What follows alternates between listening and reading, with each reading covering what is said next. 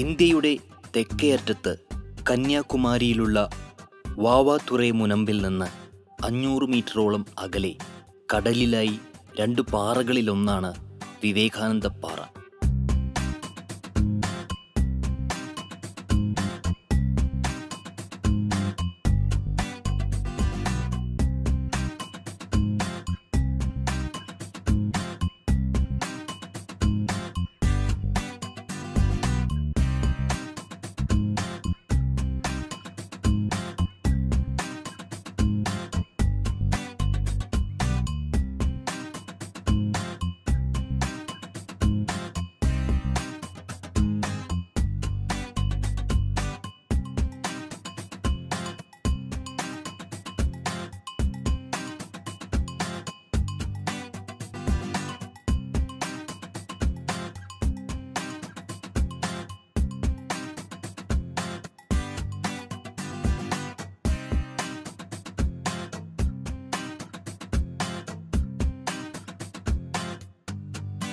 വിവേകാനന്ദ സ്വാമികൾ കടൽ നീന്തിക്കടന്ന് ആയിരത്തി എണ്ണൂറ്റി തൊണ്ണൂറ്റി രണ്ട് ഡിസംബർ ഇരുപത്തിമൂന്ന് ഇരുപത്തിനാല് ഇരുപത്തിയഞ്ച് തീയതികളിൽ ഇവിടെ ധ്യാനിച്ച് ഇരുന്നിരുന്നു.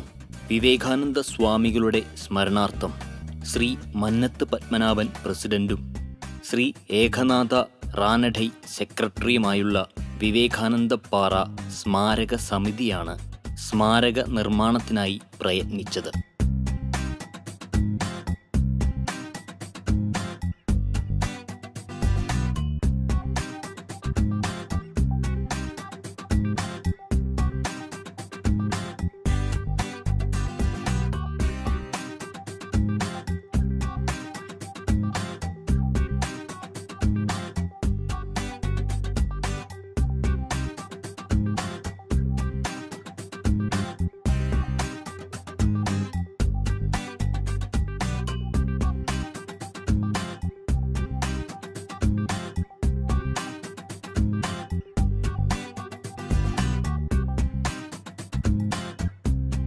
ആയിരത്തി തൊള്ളായിരത്തി എഴുപത് സെപ്റ്റംബർ രണ്ടിന് അന്നത്തെ ഇന്ത്യൻ പ്രസിഡന്റായിരുന്ന ശ്രീ വി വി ഗിരി ഈ സ്മാരകം രാഷ്ട്രത്തിന് സമർപ്പിച്ചു.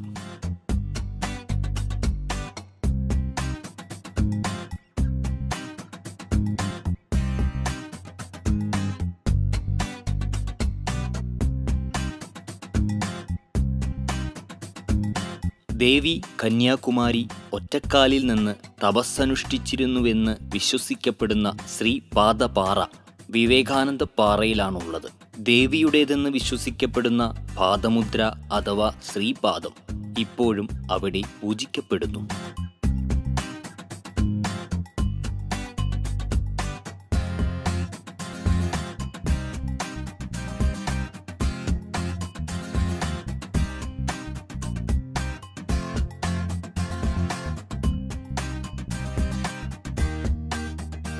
വിവേകാനന്ദ സ്വാമികളുടെ പ്രതിമ സ്ഥാപിച്ചിരിക്കുന്ന വിവേകാനന്ദ മണ്ഡപമാണ് മുഖ്യ ആകർഷണം. സന്ദർശകർക്ക് ധ്യാനിച്ചിരിക്കാനുള്ള ധ്യാന മണ്ഡപവും ഇതിനോടനുബന്ധിച്ചുണ്ട്.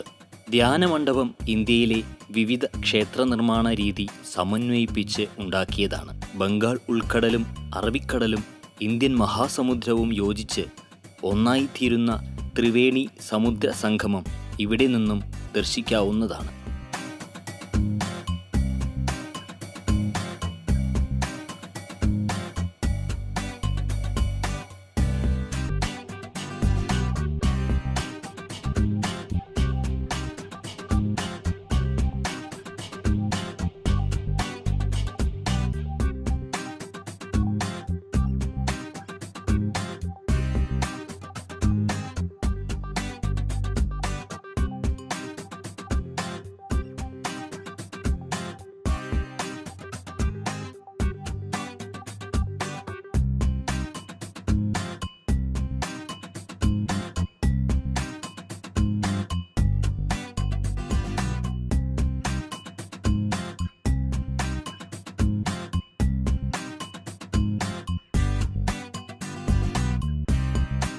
വിവേകാനന്ദ മണ്ഡപം ശ്രീപാദ മണ്ഡപം എന്നിവയാണ് പാറയിലുള്ള മുഖ്യമായ രണ്ട് നിർമ്മിതികൾ.